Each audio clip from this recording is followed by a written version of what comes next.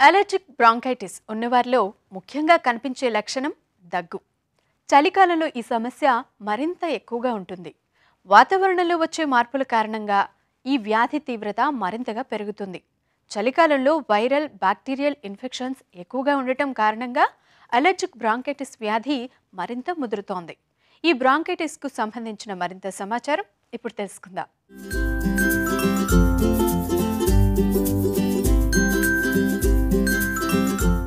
ఒక వ్యక్తి ప్రాణవాయువు తీసుకోవడానికి ముక్కు నుంచి ఊపిరితిత్తుల వరకు ఉండే గాలిగొట్టాలు చక్కగా పనిచేయాలి. చలికాలంలో గాలిగొట్టాలు ఎక్కువగా మూసుకుపోతాయి. ఇలా గాలిగొట్టాల్లో ఏర్పడిన అవరోధాలు మనల్ని తీవ్ర ఇబ్బందుల పాలు చేస్తాయి. మనకు కనిపించని వైరస్ బ్యాక్టీరియా సూక్ష్మ క్రిములు గాలి ద్వారా ఊపిరితిత్తుల్లోకి చేరి మనిషి ఆరోగ్యాన్ని దెబ్బతీస్తాయి. అప్పుడు రోగ నిరోధక శక్తి తగ్గుతుంది. తద్వారా ఈ బ్రాంకైటిస్ మనపై దాడి చేస్తుంది. విపరీతంగా దగ్గడం కఫం ఎక్కువగా రావడం వల్ల శ్వాస తీసుకోవడమే కష్టమవుతుంది.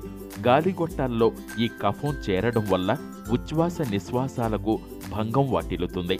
ఇది అలర్జిక్ బ్రాంకైటిస్కు దారితీస్తుంది.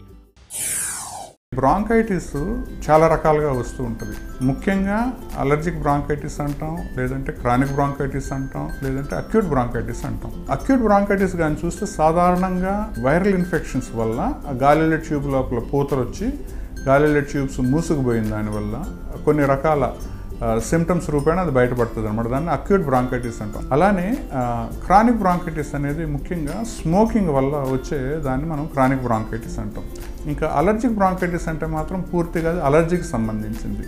ఈ వాతావరణంలో ఉన్న పొల్యూషను లేదంటే ముఖ్యంగా ఈ ఇండోర్ పొల్యూషన్ ఇప్పుడు ఇల్లు ఉడ్చినప్పుడు కావచ్చు బూజు కొట్టినప్పుడు కావచ్చు అగరబత్తులు వెలిగించినప్పుడు రూమ్ ఫ్రెషనర్స్ పర్ఫ్యూమ్స్ ఇటువంటివి ఏవైతే పడని వారు ఉంటారో వాళ్ళు వీటికి ఎక్స్పోజ్ అయినప్పుడు చల్లటి వాతావరణంలో చల్లటి గాలికి ఎక్స్పోజ్ అయినప్పుడు వెంటనే ఈ గాలిలో ట్యూబ్ లోపల పూత వాపు వచ్చి వీళ్ళు అలర్జిక్ బ్రాంకైటిస్కి లోన్ అవుతారు బ్రాంకైటిస్ అన్నప్పుడు మన గాలిలో ట్యూబ్ లోపల ఏదైతే పూత వచ్చిందో సాధారణంగా వచ్చేది వెంటనే దగ్గు. చాలా మందిలో మనం దీన్ని పొడి దగ్గు రకంగా చూస్తూ ఉంటాం. సో ఈ పొడి దగ్గు దీర్ఘకాలికంగా ఉంటూ ఉంటుంది. కొంతమందిలో మాత్రం కఫం వస్తూ ఉంటుంది. కఫం చాలా వరకు ఏంటంటే ఉండలుండలుగా ఉండలు ఉండలుగా కొద్దిగానే వస్తుంటుంది కానీ ఆ కఫం బయటకు వచ్చినంత వరకు వాళ్ళు ఇబ్బంది పడుతూనే ఉంటారు. నెక్స్ట్ తుమ్ములు రావడం. విపరీతంగా తుమ్ములు రావడం. పది పదిహేను తుమ్ములు రావడం. వెంటనే ముక్కు మూసుకుపోవడం శ్వాసలో ఇబ్బంది ముక్కు కారడం ఇవన్నీ చూస్తూ ఉంటాం. ఈ బ్రాంకైటిస్ అనేది తీవ్రంగా దీర్ఘకాలికంగా వచ్చే వ్యాధి. ఇది ఎక్కువగా అలర్జీల వల్ల వస్తుంది. అంతేకాదు పొగ తాగడం వాతావరణ కాలుష్యం దుమ్ము ధూళి లాంటి కారణాల వల్ల రావచ్చు. స్మోకింగ్ వల్ల ఇది మరింత ప్రేరేపితమవుతుంది.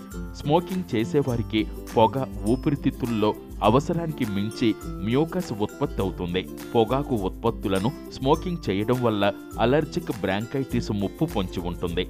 నలభై ఐదేళ్ళు దాటిన వారు ఈ వ్యాధి బారిన పడే అవకాశం ఉంది మీ ఊపిరితిత్తుల్లోకి గాలిని మోసుకు వెళ్ళే బ్రాంకియల్ ట్యూబ్స్ వాచిపోవడం వల్ల లేదా మంట రావటం బ్రాంకైటిస్ లక్షణం.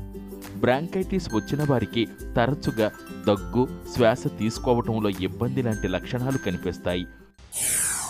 బ్రాంకైటిస్ అనేది డయాగ్నోసిస్ చేయడం చాలా సులభం అలానే చాలా కష్టం కూడా. బ్రాంకైటిస్ అనేది సాధారణంగా పేషెంట్ చెప్పే సిమ్టమ్స్ని బట్టి పేషెంట్ మనకి ఇచ్చే హిస్టరీని బట్టి ఆ వ్యక్తి పనిచేసే పరిసరాలను బట్టి వాళ్ళు చేసే వృత్తిని బట్టి డిపెండ్ అవుతూ ఉంటాయి. సో ఎప్పుడైతే ఈ దగ్గు తుమ్ములు రావడం ఫ్రీక్వెంట్గా జలుబు రావడం ముక్కు కారుతూ ఉండడం ఆయాసం పిల్లి కూతులు ఉన్నాయో వాళ్ళల్లో బ్రాంకైటిస్ ఉండే ఛాన్సెస్ ఉంటాయనుకొని వేరే ప్రాబ్లమ్స్ని రూల్ అవుట్ చేసుకునేదానికి ముఖ్యంగా ఈ న్యూమోనియాస్ ఈ అలర్జీకి సంబంధించిన న్యూమోనియాస్ కొన్ని ఉంటాయి. హైపర్ సెన్సిటివ్ న్యూమోనైటిస్ అని ఏబిపిఏ అని చెప్పి. వీటిని రూల్ అవుట్ చేసుకునే దానికి ఛాతీ ఎక్స్రే తీయించడం అలానే కఫన్ టెస్ట్ చేయించడం. కఫన్లో ఇసోనోఫిల్స్ కణాలు ఎన్ని ఉన్నాయి ఏదన్నా ఇన్ఫెక్షన్ సంబంధించిన క్రిములు ఉన్నాయా?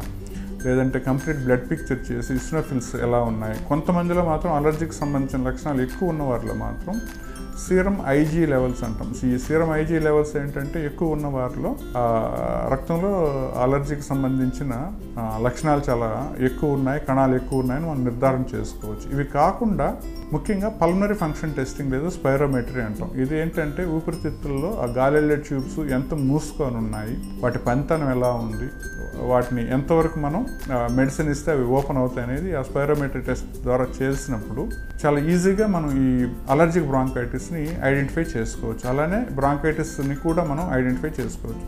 కొన్నిసార్లు డౌట్ ఉన్నప్పుడు సిటీ స్కాన్ తీసుకోవచ్చు లేదంటే హిస్టమిన్ ఛాలెంజ్ టెస్ట్ అంటాం. అటువంటి మిగతా టెస్టులు చేసి డయాగ్నోసిస్ చేయడం ప్లస్ వాటిని డివైడ్ చేసుకుని వాటికి సంబంధించిన ట్రీట్మెంట్ ఇవ్వడం జరుగుతూ ఉంటుంది. మీరు చెప్పే లక్షణాలను బట్టి పరీక్షలు చేసి అలర్జిక్ బ్రాంకైటిస్ వ్యాధి నిర్ధారణ చేస్తారు. కఫం లేదా తెమడ పరీక్షతో పాటు chest X-ray lung function test చేయాల్సి ఉంటుంది. ఈ పరీక్షలు చేసిన తర్వాత ఒకటి లేదా అంతకంటే ఎక్కువ చికిత్సా పద్ధతుల ద్వారా గాలి గొట్టాలను మెల్లమెల్లగా తెరుచుకునే విధంగా చేయొచ్చు. దీనివల్ల శ్వాస తీసుకోవటంలో ఎటువంటి ఇబ్బందులు తలెత్తవు. బ్రాంకోడిలేటర్స్ ద్వారా గాలి గొట్టాల చుట్టూ ఉన్న కండరాలు విశ్రాంతి పొందుతాయి. ఇన్హేలర్ పరికరంతో మెడిసిన్ తీసుకుంటే ఆ మందు ఊపిరితిత్తుల్లోకి వెళ్ళి ఉపశమనం ఇస్తుంది. ఆక్సిజన్ థెరపీ కూడా అలర్జిక్ బ్రాంకైటిస్కి బాగా ఉపయోగపడుతుంది. పల్మనరీ రిహాబిలిటేషన్ వల్ల అలర్జిక్ బ్రాంకైటిస్ వ్యాధిని నియంత్రించడమే కాదు నివారించవచ్చు. వైద్యుల సలహా మేరకు క్రమం తప్పకుండా వ్యాయామం చేయడం పోషకాలున్న ఆహారం తీసుకోవటం రోగికి నైతిక బలం ఇవ్వడం స్మోకింగ్ మానేయడం లాంటి జాగ్రత్తలు తీసుకోవాలి.